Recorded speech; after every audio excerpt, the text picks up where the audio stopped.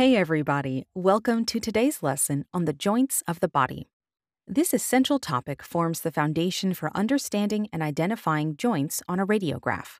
In this video, we'll cover appropriate medical terminology related to arthrology, identify the joints of the body, and discuss joint classifications, mobility, and movement. Let's get started. Arthrology is the study of the joints, or articulations between bones. Joints allow bones to provide support for the body, safeguard internal organs, and facilitate movement. These joints are categorized as either functional or structural. The primary classification of joints is structural, but it is important to have at least a base level understanding of functional joints. The classification of functional joints is determined by their mobility or lack thereof and can be categorized as follows Synarthrosis, immovable joint. Amphiarthrosis, joint with limited movement. And diarthrosis, freely movable joint. Structural classification is based on the types of tissues that unite or bind articulating bones.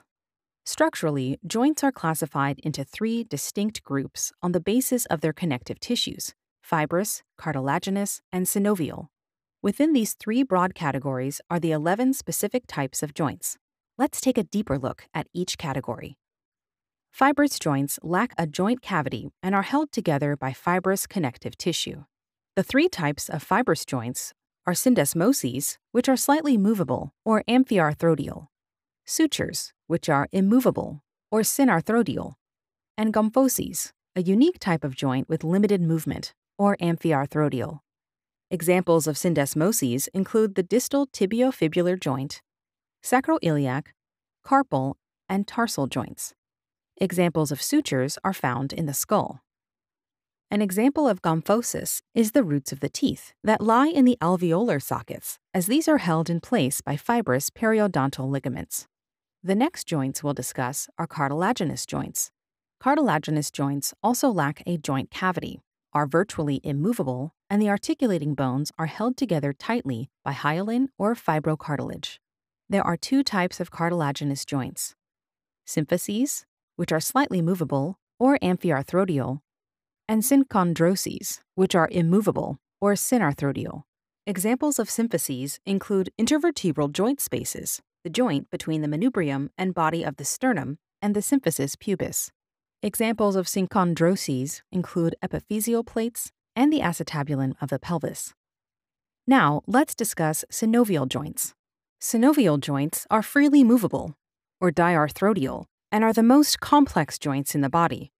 These joints are most often found in the upper and lower limbs and are categorized by a fibrous capsule that connects to the periosteum of the two bones and contains a synovial membrane. The synovial membrane surrounds the entire joint to create the joint cavity and produces a thick yellow viscous fluid called synovial fluid.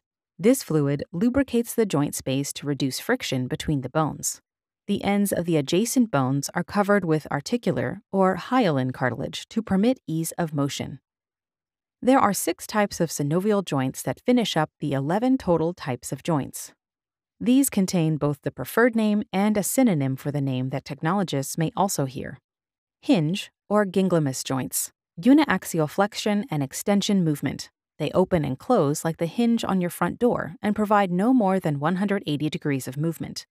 The interphalangeal joints of the fingers and toes, elbow, knee, and ankle are examples of hinge joints saddle or sellar joints.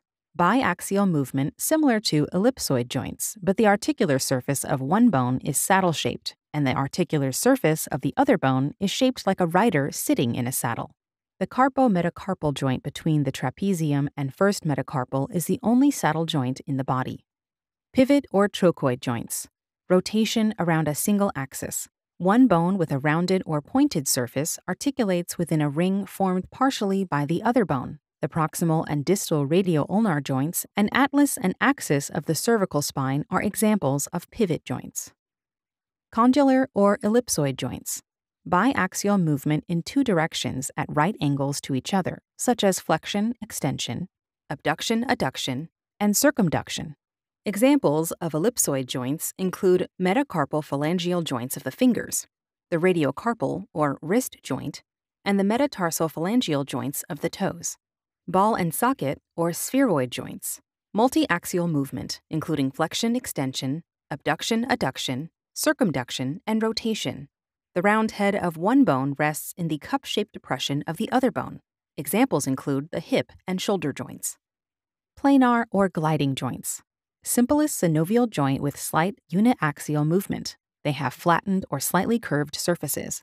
Examples include intercarpal and intertarsal joints of the wrist and foot. There is a mnemonic that can help you remember the six types of synovial joints. Healthy skeletons protect cartilage and bones perfectly. Or hinge, saddle, pivot, condylar, ball, and socket planar.